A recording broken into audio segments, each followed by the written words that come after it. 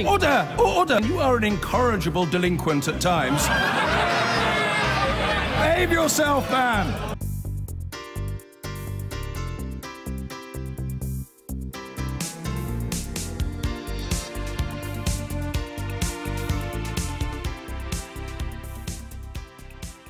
Here tonight, the Conservative MP and Brexit campaigner who resigned from Theresa May's cabinet last year after a series of top-level meetings in Israel that weren't authorised by number 10, Priti Patel. Labour's MP for Wigan, who previously served in Jeremy Corbyn's shadow cabinet, Lisa Nandy. Ian Blackford, the SNP's Westminster leader, who marched all of his MPs out of Prime Minister's questions last month. The columnist for The Times and The Spectator, Matthew Parris, and one of only two women in the country to run a football club, the CEO of Mansfield Town, Karen Radford.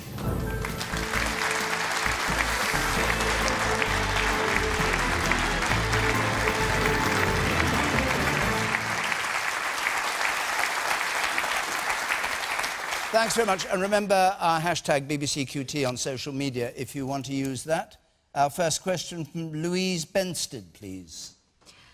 Are we heading for a Brexit deal that works for the country or one that works for the Conservative Party? Right, one that works for the Conservative Party. Parris, Matthew.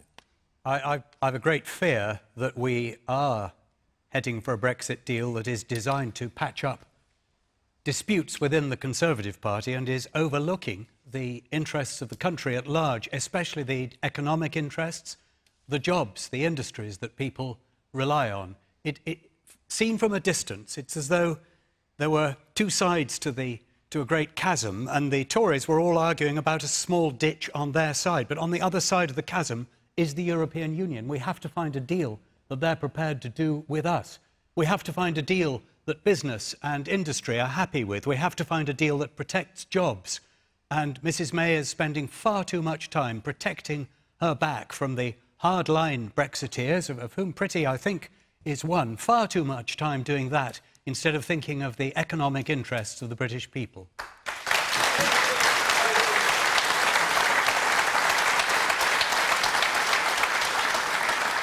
So, Priti Patel, it's just a business of getting something that the Conservative Party can live with, is that right? I don't think so at all, no. I I absolutely believe what the Prime Minister is seeking to achieve, and I heard her say it yesterday as well. She's very clear about the Brexit deal that she wants to achieve. She said it in Parliament again yesterday.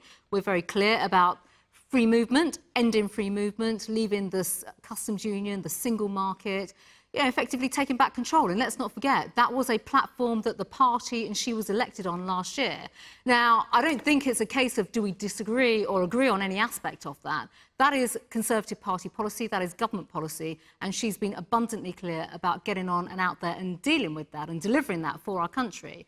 The reality is, is quite frankly, I think we've been very open during the negotiations. And this isn't just about being a hard Brexiteer, Matthew. I think, you know, the fact of the matter is, during the discussions that have taken place with the European Union, you know, we've had we've just had an extraordinary time over the last two years where we're just sort of fed this daily diet of doom and gloom and pessimism, while at the same time the European Commission, the European Commission and their representatives are quite frankly being quite disparaging about our country, trying to bully the government over this deal. And I think right now they need to calm down the rhetoric, stop thinking about themselves, and absolutely work with the British government to deliver a good mm. deal on Brexit. I think you okay. need to calm down the rhetoric. I, th I think you need to calm down the rhetoric. This is fighting talk, Priti, but in the end, there's going to have to be give and take. There'll have to be give and take within the Conservative Party, and there'll have to be give and take with the European Union. But and you have to accept that. I think, Matthew, uh, there's, there's a point here is that, you know, what I have effectively outlined, that is obviously a Conservative Party position, the government's position. And, of course, this is a negotiation. I've been out over the last few years making that very point. This is a negotiation. But let's not forget, the Commission themselves have been unreasonable. We've been very open over the last two years. I think we've been very open and very transparent in our offer to the Commission, to the European Union. Well, we put things on the table. Well, on money, for example, on European citizens, um, the fact that obviously we want the right kind of free trade deal All right. as well. and of course, that is, that come back about, to you. Lisa Nandy, what do you say to that? business, that is about the economics, right. Lisa, and of course jobs Lisa, in this let, country let's, as let's have everybody have a fair share. Lisa Nandy. I mean, the tragedy of all this for me is that two years on from a referendum, which should have been a huge wake-up call to uh, the British public and to politics about the frustration out there in large sections of the country, not just con in constituencies like mine that voted overwhelmingly to leave, but also amongst Remain voters as well. We're absolutely nowhere. We haven't begun to address the causes that gave rise to Brexit, the frustration that people feel about the lack of power and control they have over the things that most matter in their lives. And we're nowhere in the negotiations. Mm. If this was a football analogy, which is quite apt this week, we're not even on the pitch and the match is nearly over because the negotiations, the bullying and the threats are actually going on still, two years later, within the Cabinet. The negotiations with Brussels haven't really begun. And that is in no one's interest. We had a result that was 52-48. That means for all the shouting, the tantrums, the threats within the Cabinet, nobody won a clear mandate. The only clear mandate from this is to compromise. All and right, that means yes. that as we leave the European Union, we have to do so in a pragmatic way and we have to tone down this disgraceful rhetoric that is dividing right. our country.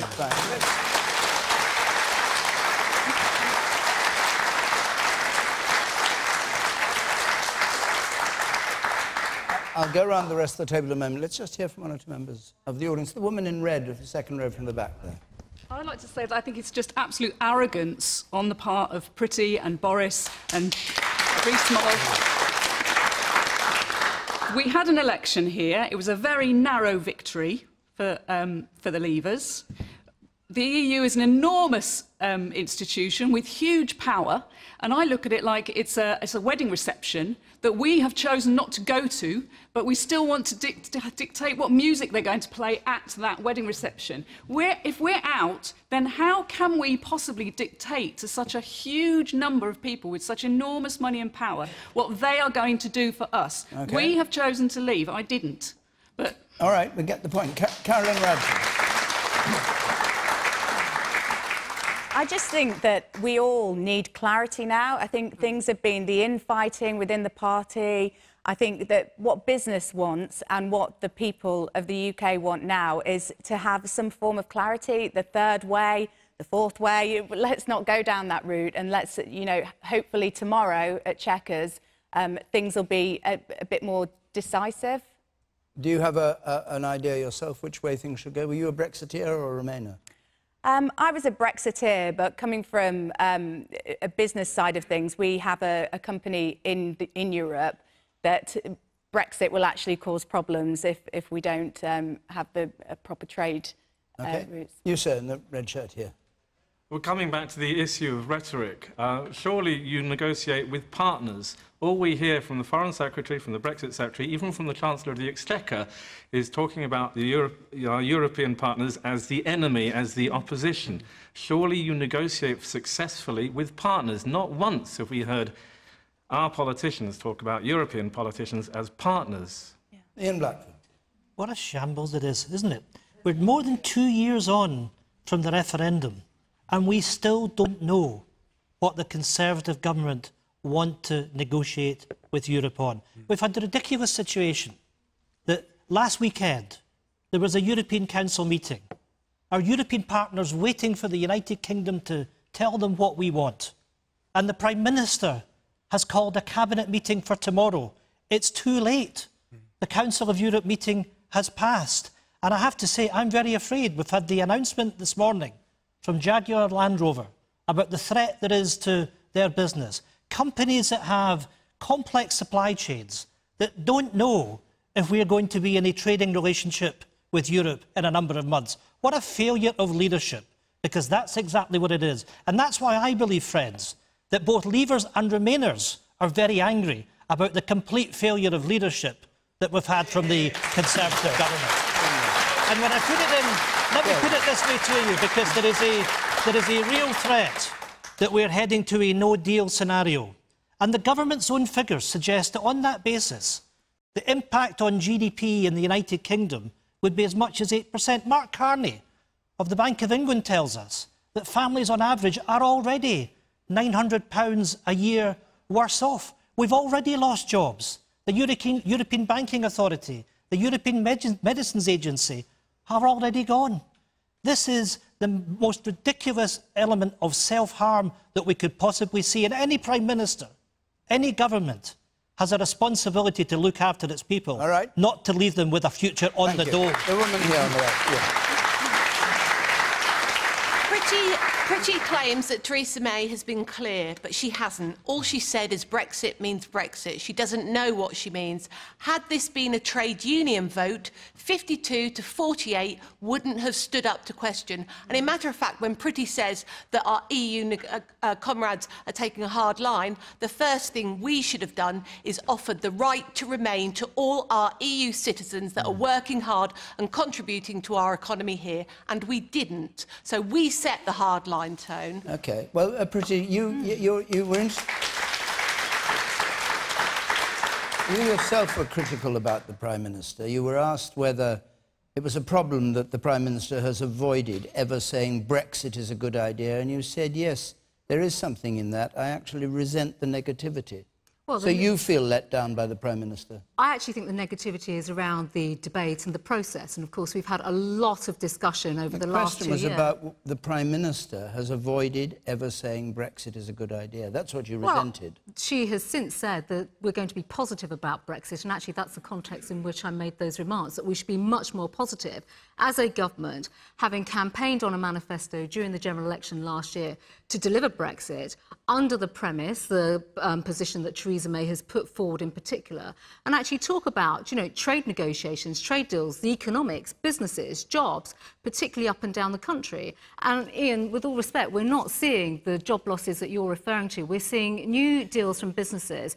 We're seeing positive economic growth. Priti, we've got the perhaps lowest in growth. Scotland, We've perhaps in low- no, no. Scotland We have. got the lowest growth in G7. We've fallen to the bottom Well, it- of the growth league. We are seeing... And I think you have to listen to the businesses like Jaguar Land Rover, like BMW, that have made it very clear, Airbus that have talked about right, we may making come to- we may investments come to that, elsewhere because of the risks in Yes. the UK economy, and it's the lack of clarity. And I have to say to Priti that if you want that free trade deal with Europe, if you want to protect jobs, that means you have to stay in the single market and the customs union. It's the only way you're going to do it. You, sir, there. Ian is talking such negative nonsense. It is ridiculous. We are leaving the EU. There's a meeting tomorrow in Cabinet. Things will be sorted. As Matthew said, some sort of compromise will have to ensue, and it will. You wait till tomorrow evening. It'll all be agreed. Now, let's not... It will be agreed. It will be agreed. The fact is, we are moving forward out of the EU, and that's a damn good thing for our country. And Priti is talking a lot of sense. Matthew Parris. do you- I- you- Yes, I, I can't let Priti get away with the impression that she is supporting the Prime Minister. Uh, she's supporting the Prime Minister in, in words, but in reality, she is part of that hardline group within the Conservative Party that are making trouble for Theresa May, that are threatening her with resignations, threatening her with her own position as Prime Minister, threat, threatening her in every way. And y- y- you, you, you, Priti, are not helping Theresa May. You know you aren't. Your colleagues on the Conservative backbenches know that you aren't. You know that you're making trouble for her. Well, Ma- Matthew, I think if, if I can just respond to that, you know, we've been backing the Prime Minister absolutely, and just last oh, week Oh, we got the EU withdrawal bill through Parliament. You know, that was through a negotiation with colleagues in Parliament, absolutely, and that was the right thing to do. You know, I'm not calling for the Prime Minister to go, so that's really wrong to even suggest that. And in terms of, you know, the position on Brexit in particular, those are the positions that she's put forward, and we are constantly willing her on, wanting to support her. And not only that, if I may say so, when it comes to the delivery of Brexit, her success with the delivery of Brexit will also lead to the success of our country, and that is something that we all want. So would you, hang on a second, would you go along with Jacob Rees-Mogg, who said an EU agreement that restricted the country's ability, I'm quoting him, to make trade agreements could not be accepted. Indeed, MPs would vote against such propositions. Well, what I- was described well, as a threat I- to the Prime Minister. Are you with him or not? I, I'm not. I'm not in the camp of threatening the Prime Minister at all. I want to see an independent free trade policy. That is Good. the right thing well, to do. Well, let's test. Let's test whether you're in the camp of wanting to threaten the Prime Minister. Say the result of the meeting at Chequers tomorrow is that Theresa May says that we have to accept that we must be in something like the customs union and something like the single market. Uh, will you support her? Well, it depends on what it is, because it's not something like the customs union. No, she, if, if I may, the language and the framework that she's used is a partnership. You know, a partnership is the appropriate way of working. Now, any business deals, any Priti- negotiations Priti- are this- based this on is, partnerships. This is a fallacy because what has been proposed, what we seem to see has been proposed, the so-called third way, is what Europe has already defined as cherry picking, and Europe is not going to have it. You have to respect We don't the that, traditions of the of the European Union. If you want to, the Prime Minister talks about wanting free trade and wanted to have frictionless trade with Europe. Well, there is a way of doing it. It is called the single market No, and oh, well, customs she's union, clear. and We're it's the only way you're leave going to do it. And there are many people in the Conservative Party that say that a no deal is better than a than a bad deal. Well, I can tell you, a no deal is going to be disastrous Yes. for the people of the United Kingdom. I'd like to hear Kingdom. from some more members. of There is the man up there in the second row from the back. You, sir, in the white shirt. Yes. Yeah. Uh, if you happen to look out in the car park here, you'll see virtually all the cars are German or Fran- French.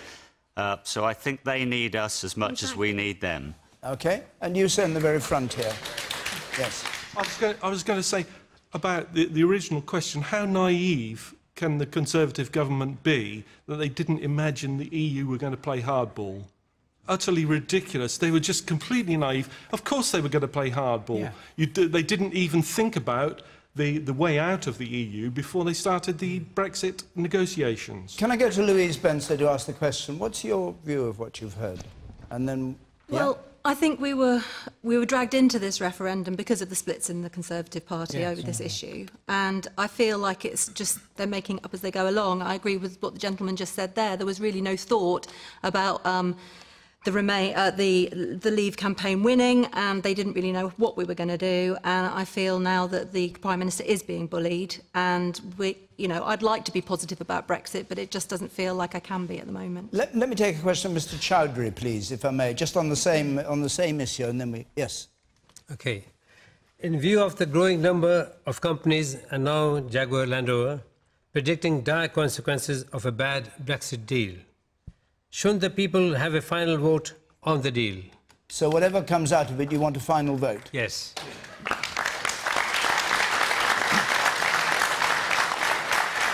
Ian Blackford, you go for that?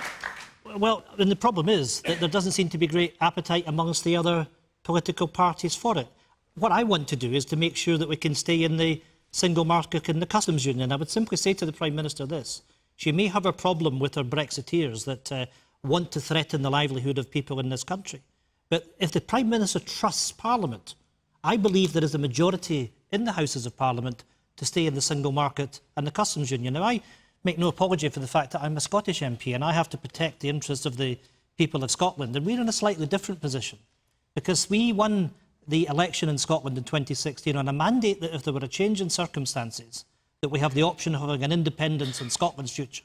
And my priority will be to make sure that the people of Scotland have that choice and that we can protect our future as a European nation. Those of you here that want to come and join us are more than welcome as we make sure that we have our own destiny as a European nation. So you're going to have another referendum for Scotland, are you? Is that an independence referendum instead of a about- referendum on is- this? It is this- about, it's about democracy. I cannot see... but I just want to pin you down to it. Are yes, you, I'm you- going to answer the question for you, David. Okay, I thank you. cannot see how that can happen in the UK because there is no pressure for that from the Labour Party or the Conservative Party. So you want a- another I need to referendum do- on Scottish- yes, when do you want it? Well, because we, people in Scotland, voted to remain within the EU by a Hmm. decisive majority. And the responsibility that I have and the First Minister has is to protect the interests of the people of Scotland. And if we're dragged out of Europe and if we're dragged out of the single market and the customs union, then we must have the right to put the future of Scotland to the people of Scotland. We have a mandate for... uh, for When an would you like to do that, Well, we will, we will take that decision once we know what the outcome is of the Brexit process. But it is right that the people of Scotland are given that option at that time. And I believe that the people of Scotland will seek to protect their future as an independent European nation. Hmm. Okay. Man up there in white, in the shirt there in the middle. Yeah. Ian, you refer to democracy and having a mandate, but it's quite ironic that you should suggest that is the way, because the Conservative Party won the last general election on the premise that we would leave the single market and the customs union, and so to now suggest that we would not do so is the opposite of democracy. Matthew Parris, what do you make of the argument for...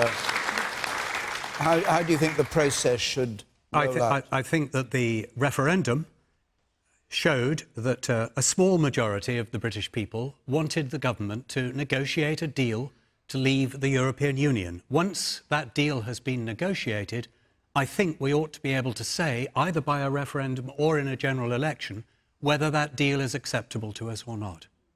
So you would. so you'd go for either a referendum or a general yes. election? Yes. What would you say to that? Well, I'd say no to another referendum. You know, we had the referendum, the public voted in that referendum two years ago and the government are getting on and will deliver Brexit. And, you know, I have confidence in the Prime Minister when it comes to this process, and she is our Prime Minister, and it's for her to absolutely secure the right kind of Brexit, as we've just discussed. What about an election to I, endorse? I don't think so. Absolutely no, because we had the manifesto last year, and that is democracy. In the same way in which we see various constituencies and parts of the country that voted, you know, in Labour seats in particular, in a very heavy way to leave the European Union. And of course, there are a range of reasons as to why people voted to leave the European Union. Yes. But I, th- I think it's important once we do leave that we start to address a whole raft of those causes, those issues and concerns. Karen- And that is the pragmatic and responsible Caroline, thing what about you? for the government. What do you think? I think we need to get behind the Prime Minister now. We are where we are, and we've just got to get on with navigating the process as best as we can and all pull together as a nation. And if you get some deal, if you get some deal that's far less than what you wanted and stays much closer to the EU than you wanted, you just lump it, would you, and say, well, that's it. I think there's going to be great debate on both sides, and I'd hope that the Conservative Party do navigate the, the, to, us on the right uh, position and path. Lisa Nandy, what would Labour do? You've heard Matthew Parris saying there should be some final judgment on this deal. Are you in favour of some final judgment? No, I think it's right that Parliament has a vote on the deal with the option to instruct Theresa May to go back and renegotiate if we don't like it. But the trouble is this, that the clock is ticking. We've got about four months until we're supposed to have reached agreement on this. Um, and um, we don't actually know what we would be voting on. We haven't got a clue, and we're two years on from the referendum. And the trouble for me is that I think we're in danger of replicating the mistakes that we made the first time around. We had an in-out referendum, and we spent two years then arguing as a nation about what that result actually meant. And there isn't clarity, actually, about a second referendum, about whether we would be asking people to vote for a final deal or to reject Brexit altogether, or to vote for a final deal and then to send Theresa May back to the negotiating table. And the question started with the warnings by business, which I've also heard privately from businesses in my constituency. I don't think there's any understanding in politics at the moment about the urgency of this situation. What businesses are saying to us is not that they couldn't live with some compromise. What they're saying is they can't live with the lack of clarity. And the longer that we delay, the more likely it is that those investment decisions go elsewhere. And that's people's jobs and their lives, and it is unacceptable. You said.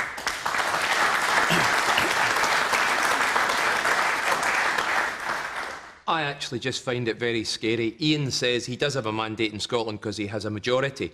We are fighting to get something through Parliament, regardless of who you vote for, and Theresa May will come out of Chequers and make a phone call over to Belfast to somebody she had to pay £1.5 billion pounds to to get them on board. And that's what our whole in or out depends upon.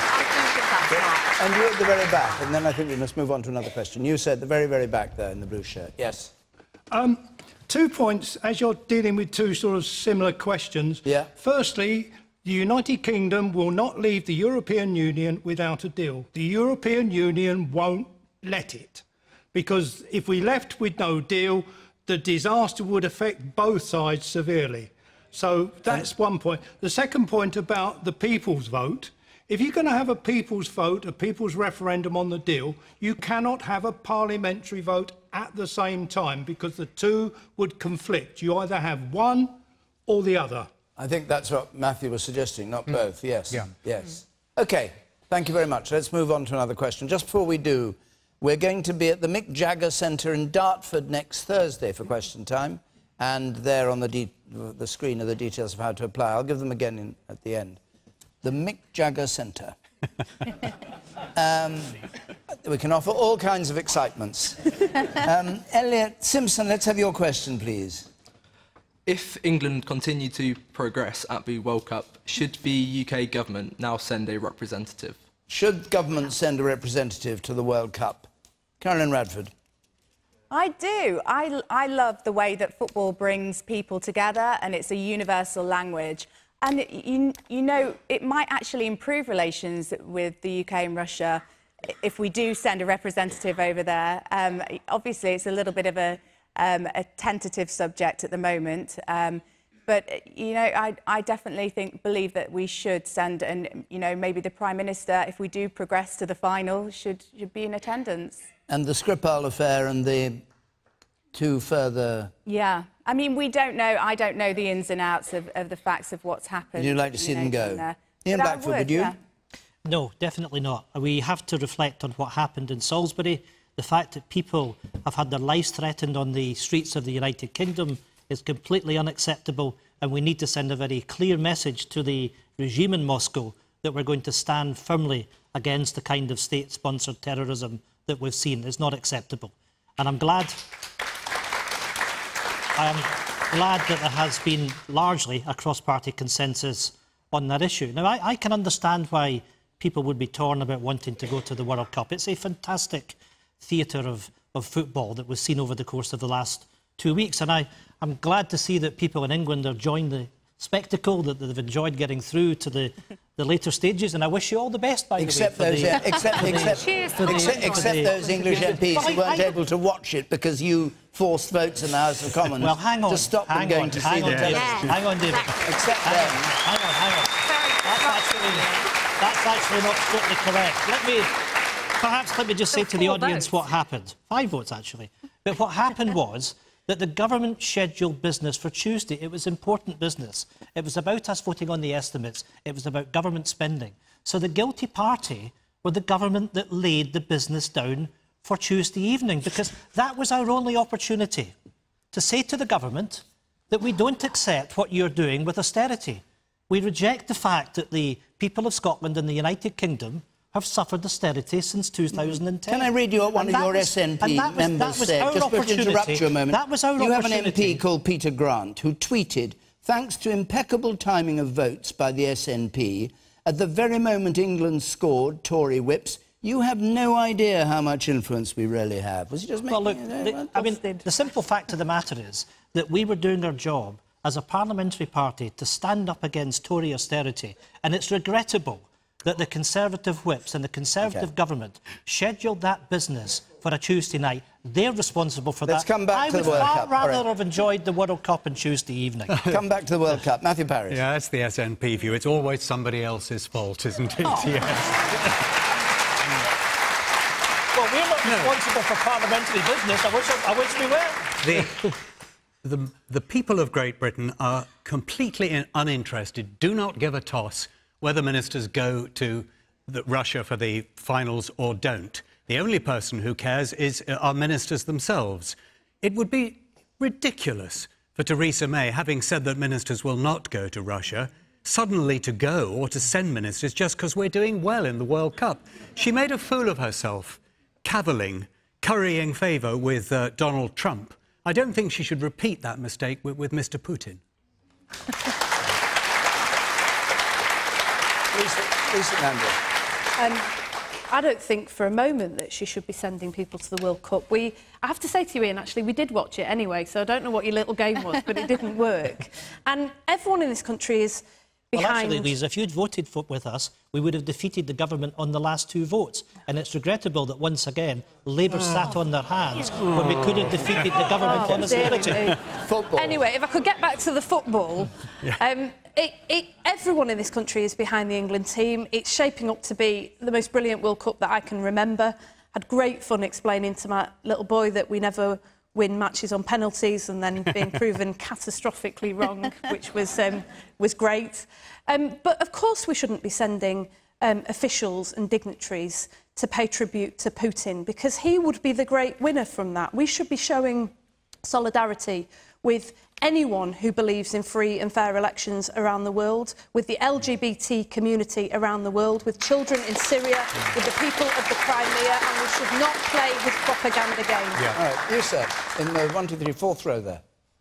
Um, I'm not a particularly big football fan, but in general, if I'm working and there's a sporting event that I want to watch, then that's tough for me that I can't watch that at that time. The fact that there was a vote whilst their MPs wanted to watch football is ultimately irrelevant. It is their job to vote on things. Okay.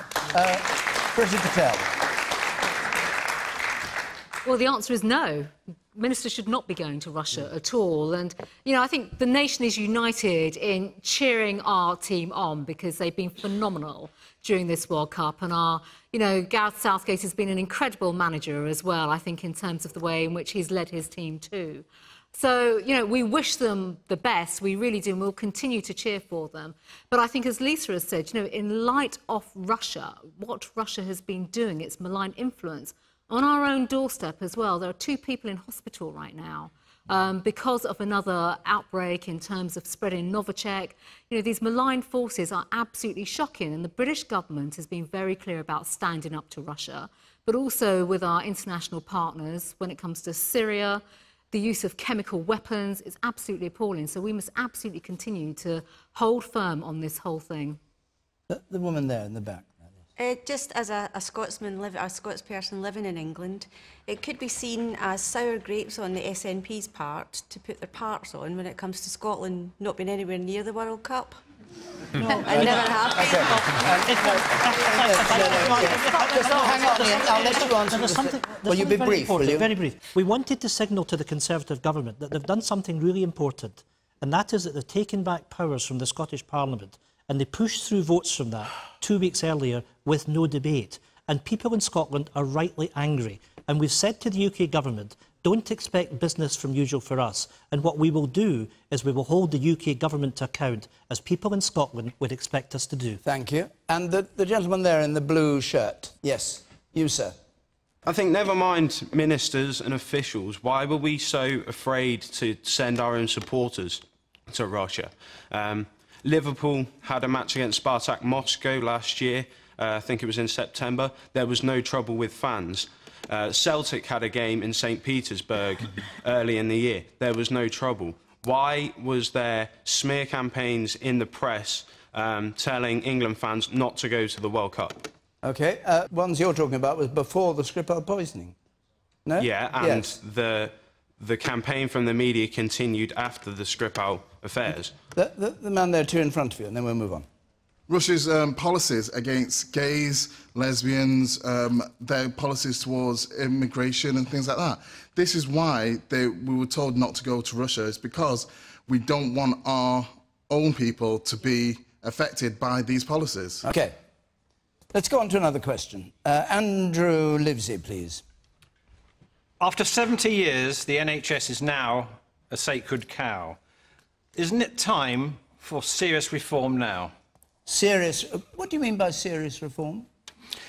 We are accepting the way the NHS is at the moment, and we need to sort of get in there and to re- sort out the waste and all the money that's just, just wasted generally, and the way the whole thing is run, it's overmanaged, and things like that. And you say it's a sacred cow, meaning that nobody dares really... Nobody dares sort it out.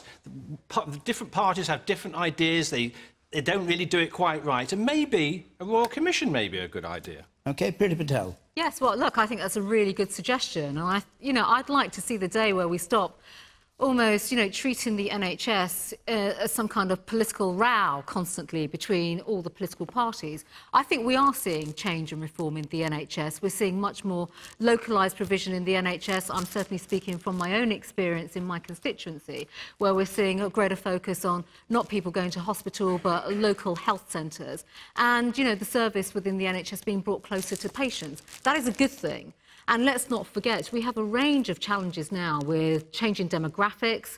Um, you know, we're living for longer. Sometimes we moan about that, but actually that's a good thing and we should celebrate that.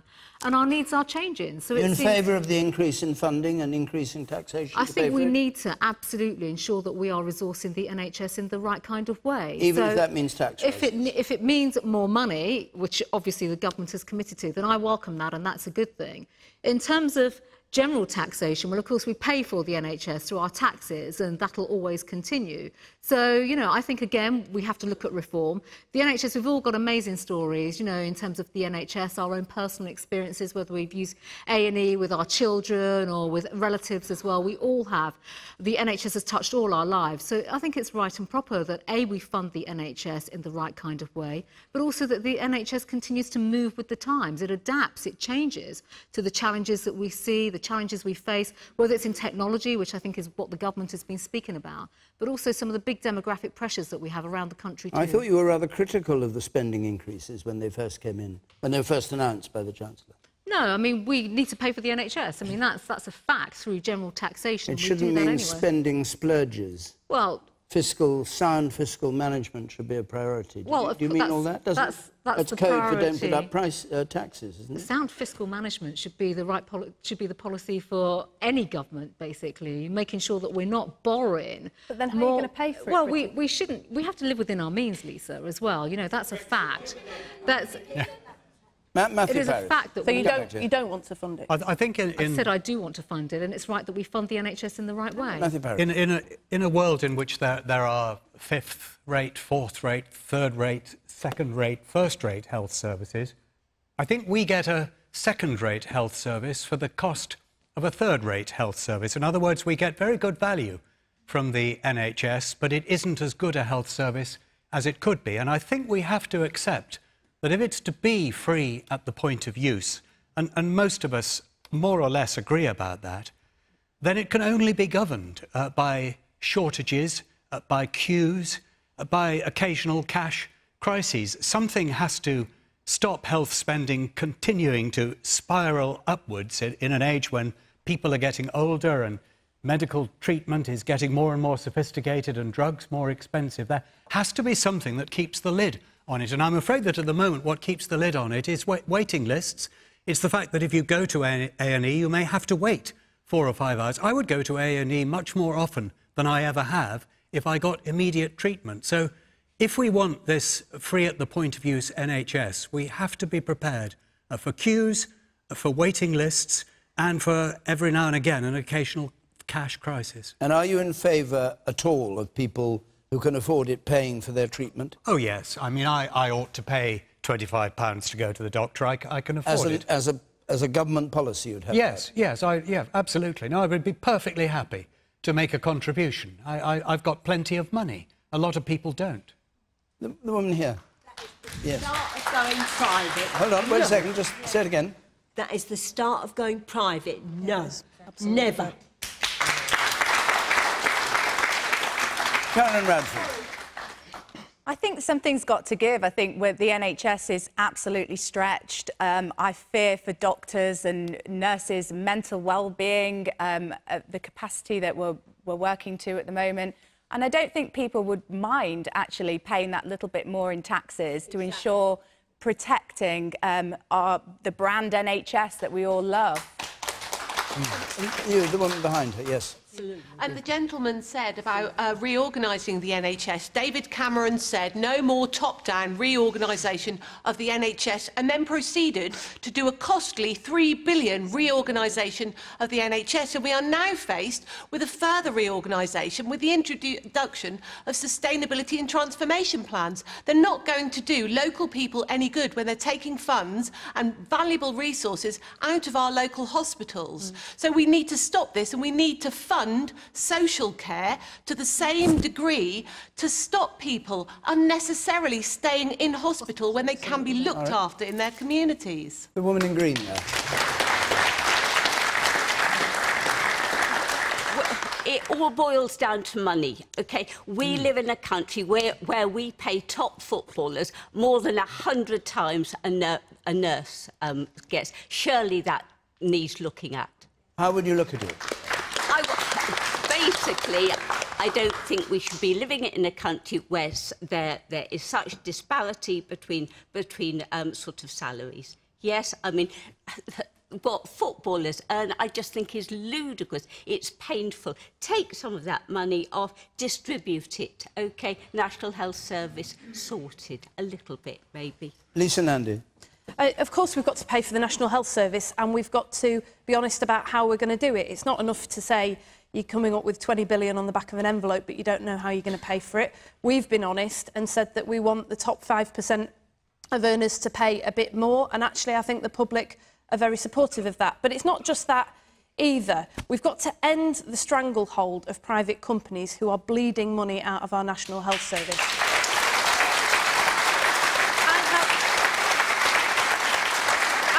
I, can I just stop you a second?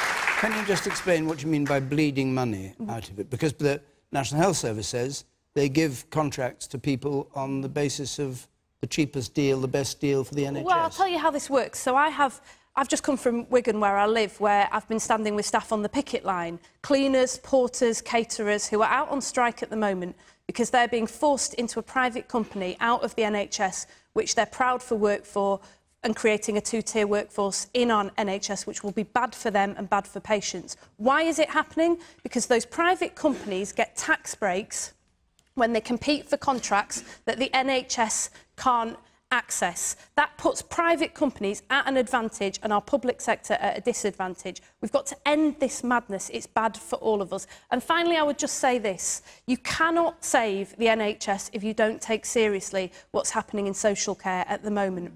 Local... That was the point made over there. Local authorities mm. are on their knees after eight years of cuts. They're bringing in less money in council tax at the moment than they're spending out just in vulnerable adult and children care alone. We can't go on like this. Every time I go to my local hospital, I see older people who've been admitted to hospital simply because they don't have the care that they need at home. And too often, those older people die in hospital instead of going home to their loved ones. We've got yeah. to fund social uh, care. Uh, Andrew,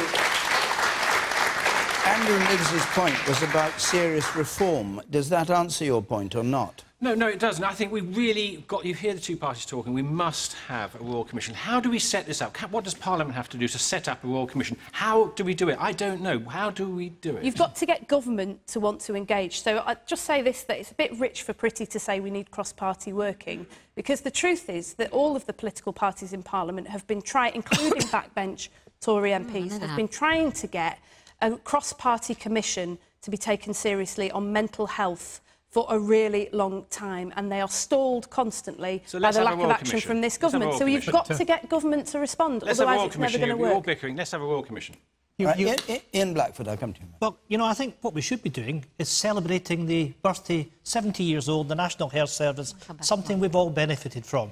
It has been a marvellous achievement for all of us. Why are we celebrating the 70th birthday? I mean, 50th birthday, 60th birthday, well, every um, 10 years we well, celebrate? No, it's an important milestone, and if I may say so, actually, the why legacy... Is it, I don't understand why it's a milestone. I'm sorry to be because, Because what this. it's done over such a long period of time is looked after our needs from cradle to grave. I know all that, but why and, suddenly... Well, is this a political gesture that's no, it's celebrating not. It's not. I think, everybody, I think everybody should be celebrating the fact really? that the health service has endured so long, and it's Did something... we celebrate the 60th? Look, David, we're here today at 70 years old. It is something which is worth No, because, it, because it's at its 60th birthday, the NHS wasn't attacked from, under attack from its own government. And it is now, and that's why we need to celebrate. But if I so this celebration, if this celebration is an anti-government celebration No, this is about championing the principle behind okay. the NHS. It is there for all of us, okay. and it's We have a health service, certainly in Scotland, that we're proud of, and it goes back much further than 70 years, actually, because the Highlands and Islands Medical Service goes back to 1913, the first public health service in the, in the world, something that we cherish. But we've got a, a duty of care to the health service to make sure we look after it. And actually, in Scotland, we are well down the road of integrating uh, social care and health in Scotland. And by the way, in our budget, we did increase taxes for those earning more than £33,000 a year. And one of the reasons that we did it is because we want to make sure that our healthcare workers get a decent pay increase. And that's exactly what we've done. Let's make sure we invest in healthcare. Let's make sure it can deliver for the people, whether it's here or elsewhere in the United Kingdom. That should be the top priority of every politician. The, and and, and the, the woman there, behind the man in red, Now come to you, Matthew, yes. Um, should we not, as users of the National Health Service, take responsibility for some of the situation that it finds itself in today? People who misuse and abuse um, A&E people who misuse and abuse general practitioners who don't turn up for appointments, who go to the hospital when there is absolutely no need for them to go. Surely that is what should be happening if we're going to celebrate the 70th birthday, is to take it back to this is your health service, Please take responsibility for it and look after it. Carolyn Radford, do you agree with that? I do, absolutely. I think, and uh, there's been big. Um, I make sure that I go to the chemist and I get advice from there if my child falls over and hurts themselves. You know, I, I think it, there has to be. We have to have a lot more respect for when we actually need to go and seek medical attention. Obviously, when we do need to, it's there for us. Um, but maybe that would help reduce, you know, waiting times in hospitals if you don't have the people using the service um, and abusing it. But both, both Lisa Nandy and the lady over there said that we must pay more for social care. And I'm sure we must, but the, this is not going to be a popular suggestion. The Conservative Party did come up with a plan for paying for social care at the last election. Then, when they saw how unpopular it was, they panicked and abandoned it. And But they the, didn't the, consult the plan, on it, Matthew. The, the, they didn't have a plan- conversation with I'm, the people I'm just going or to, across Parliament I'm just going to tell you to what try the and get a plan. consensus. Tell you what the plan is, and you, you can say whether you agree with it or not. The, the plan was that where elderly people have very substantial savings or capital assets, down to a certain threshold, that should be used to fund their social care until that threshold is reached. And the reason that was so unpopular is, is, is not because it would hurt old people, it wouldn't hurt them at all. It's because their sons and daughters are not going to inherit as much as they did before. There you are. You hear the boos from the audience. There was a plan for funding One social bit. care, Bridget- and you don't like why- it. but why- Patel, but why on, was it hang on, landed on, on even her own hang on, MPs Lisa, please. without any notice? Hang on, That's Patel, did you approve of the plan that was in the Conservative manifesto? Well, li- like, like most things with the manifesto, we heard about it after it was published. So, you know, there was no consultation. when you read it, did you approve it or not? No, because we, it, it was basically a proposal, and it, I think it said very clearly at the time that there'd be further work that would come out in terms of it was a concept, it was an idea that's being floated. Well, what would you have said if there was a consultation? Well, would If you'd to- been consulted, but I- I'm but I- consulting you I- now. But I think, I think, Matthew, it's important to be part of that discussion and to look at a Oh. range of options as well. I think, I think that's right. I think that's right and proper. But there are two points here. Had you not seen it at all? No, I hadn't. No. So you've got the Tory manifesto hadn't that you really- were fighting an It, election it on. wouldn't have been my, you know, it wasn't my department, so I was not in, involved in any aspect of that government. at all. No, I was not. In, I was not involved or consulted in that, and I gather many other people were not at the time Is too. that odd?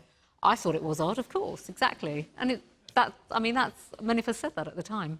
Is that, is that, is that why you lost, uh, or didn't win the election, the glorious way? Well, I mean, look, we can all rewrite history, can't we, Jeremy- in terms of, in terms of the Did election? Did Mr Hunt know? You'll have to ask Jeremy. I You know? think I think Jeremy, in fact, to his credit, the Secretary of State at the time, you know, Jeremy Hunt was out talking about the policy. So obviously he, he had been involved in that policy. Somebody was waving very, no, not you, sir, but somebody at the, a woman at the very back. I will come to you in a moment, but the woman at the very back there, yes. It goes without saying that, of course, everybody should use the NHS responsibly. But let's not forget how we got into this situation. It wasn't because people were missing appointments. Under the last Labour government, and I'm very critical of lots of things the Labour government did, we had the longest sustained period of investment in the NHS since it was founded. And by the end of that period, we had the highest satisfaction levels since it was founded. It's because of the ideologically led assault by her government that is trying to dismantle the NHS. Do not pass the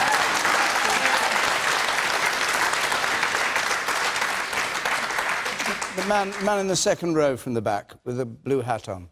Bring it, bringing it, bringing it down to a human level, I had experience of being in the our own wonderful Queen Elizabeth, Elizabeth Hospital in Kings Lynn last year for eight days.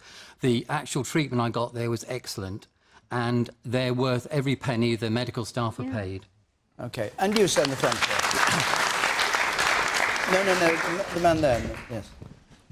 Surely the failure to integrate social care and healthcare budgets is the economics of the Yeah. madhouse. Yeah. It's crackers Exactly. Yeah. where we save small amounts of money providing care in the mm. community and spend huge amounts keeping people bed blocking in hospitals. And you've got MPs on both sides of me here nodding with agreement with what you're So- saying. so why don't we get on- on with it and deal with We've it? done it. Mm. We've done it in Scotland. Why haven't we done it in England? Because it's expensive. Bridget? Why hasn't it been done in England? Well, You were nodding in agreement. Well, I do. I completely agree with that, but also with mental health provision as well. Lisa touched on that too. You know, if you go to A&E, I've been in A&E twice this year, and you know, it's really shocking to see the type of people that are coming in when they could be helped much closer to home and in the community. So I think this isn't just about the Department of Health. Going forward, this has to be a cross-government effort with other government expensive. departments. Well, of course it's expensive, Okay. but we need to look at ways in which But we you've fund got- it. but you've got to be look at prepared to services take as well. We've done it in Scotland, it I hear- works, and people are benefiting from it. But at But the it's same cheap- time, we it's have to look at how we can do this in It's Westminster cheaper in to- the cross-government It's cheaper to care for people in the community than it, is, than it is in hospital. All right, let's stick, let, all right, hang on. Let's stick, let's stick with the community and let's stick with hard politics and take a question from Mary Sacri, please, affecting Kings Lynn specifically, but applying to the country as a whole. Yes. Will the introduction of universal credit in Kings Lynn fuel more demand of our food bank? There has been evidence that where universal credit is rolled out, the effect is for food bank use to go up. Matthew Parris, what do you think of The theory, the theory of, of universal credit is a very persuasive one. I- I- it is that you earn your way out of poverty and that uh, nobody is better off out of work than in work. That's the theory. The practice is, I think it's the Treasury's fault. It has been starved of the resources it would have needed. It needed to be generous, at least in the introduction. Uh, it, the, the, the, the wait, was it five or six weeks before you get paid, seemed to me exceedingly hard hearted. And I think if you're going to bring in a revolutionary new idea like universal credit, you, you really have to provide the funds, the, the sweeteners to make it work. And I, I don't think the Treasury has ever liked universal credit, and they're trying to kill it, and they may well succeed. Um, Lisa Nandy, what do you think should have happened uh, to Esther McVey, who was criticised in the House of Commons this week for distorting the effect of universal credit being rolled out? Well, we've had... She apologised for it. Do you think she should have gone? Of course, I think she should have gone. I mean, we had, we've had universal credit actually in Wigan for five years because we were one of the pathfinder areas that trialled it before. So for five years, we've been telling her department that there are problems. And then you have this National Audit Office report, which is signed off by her department, which says that 40% of people on universal credit are in financial difficulties and the government should pause this and not put more people onto it until they know that it can work. And yet, what does she do? She comes to Parliament and she tells us that everything is great, that it just needs to be rolled out more quickly. Either she has no idea of the impact that her flagship policy is having on people across this country, or she deliberately misrepresented this to Parliament. And I'll say this to you, that I've had constituents in the last five years who've made tiny mistakes on their forms, or who've asked to miss an appointment so that they could go to a family funeral, or who've been three minutes late for an appointment, and they have been sanctioned and they have lost everything. Esther McVey came to Parliament t- twice and misrepresented what was in that report. She's come and apologised, but she's still got her job. She's still got a ministerial salary. She's still got a ministerial car. She hasn't resigned, and Theresa May must sack her.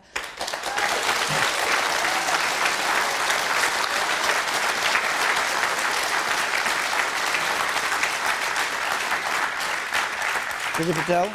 Well, I actually think when it comes to universal credit, it is now a policy that's been established in government and it's one that needs to be supported.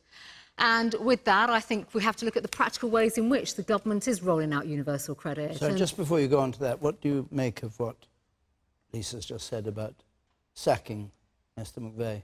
Esther apologised to Parliament yesterday and she gave a statement in Parliament. So I, I don't think she should be sacked. But there's no benefit of a doubt for people who are on universal Lisa. credit. If her department won't you made show your, compassion you've made your point. for people No, on universal Lisa, you've credit, made why your should point. she I'm get asking. that- that level of You've made your point. I'm letting her so reply. sacking a minister and replacing a minister will not solve the problems in you know immediately and i think actually the focus now has to be on making sure that universal credit works for the people that are on universal credit that they don't get the glitches in payment that they are supported and i think actually where we should look at this from the human element is that one-on-one support that should come from the job centres while people are transferring onto universal credit and giving them all the help that they need. You know, it's pretty obvious through the NAO report and through some of the past cases that have been um, come up as well that it's not a perfect system. Matthew actually touched on the fact of the taper, the money that came from the Treasury. Um, there were problems, there's no doubt about that. I remember at the time I was involved in DWP, I was a minister. In fact, my former Secretary of State resigned because of the rows with the Treasury that we were not being funded enough And that is part of the problem. So ensuring that the money is going into the system to support people is the priority. And I don't think changing the ministers at all will All right. alter that. Mary Sacre, you asked this question. Is food bank use rising in Kings I think it is.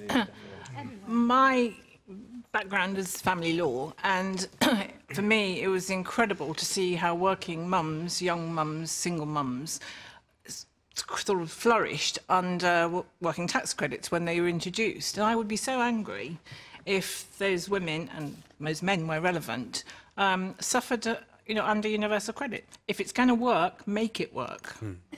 Carolyn Radford.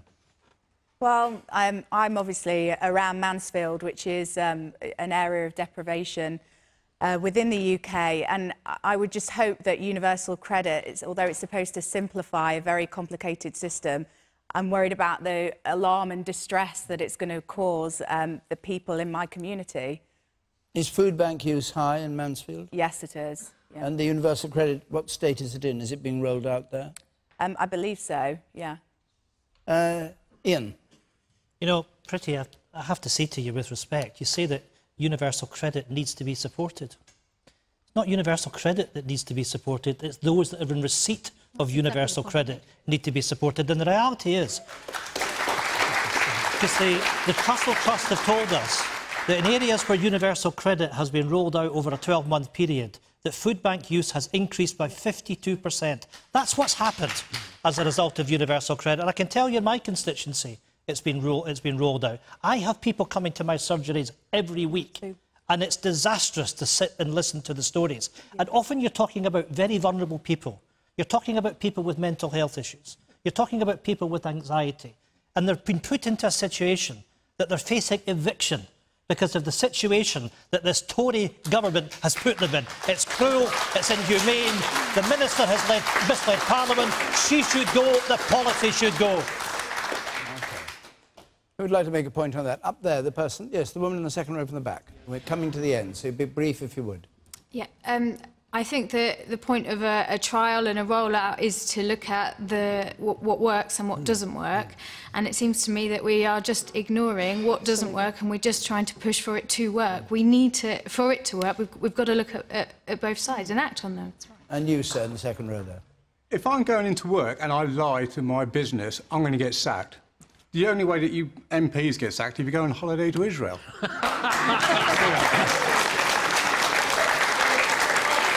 Well, on that, on, that, on that sharp point, I think we've nearly... I'll just take one more point from the woman in pink. Very brief, if you would. I think it's absolutely disgusting in this day and age that there are food banks at all. We should be looking after each other as decent human beings should.